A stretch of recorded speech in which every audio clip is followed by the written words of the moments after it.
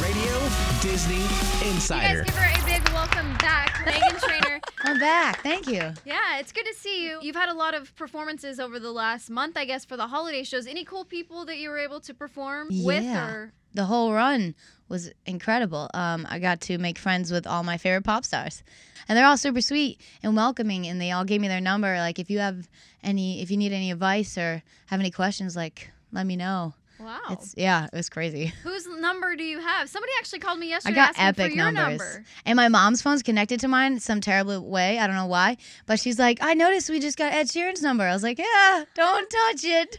Do not do anything with these numbers. Uh, it's something with our um, Macs. I don't know why. We have the same like Apple account. I don't know. Okay, so what if you go through one day and you're just like searching? You're like, we didn't talk about that, Ed. Yeah, uh, yeah. I, I, oh God, I don't know. It's it terrifies me. Like, oh, she's only slipped once in the very beginning. She she started tweeting, and I started panicking. Like, why am I talking to press? What?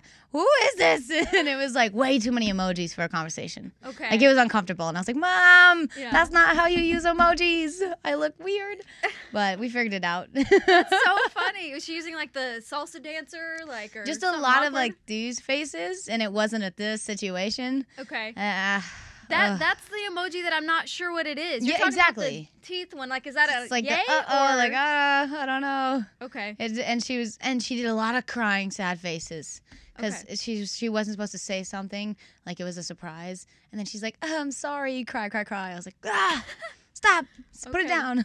What's like your story? How did you get into songwriting, performing, and all of this? oh, I wrote songs forever since I was like 11, very young. What was like the first song you wrote? Do you even remember it?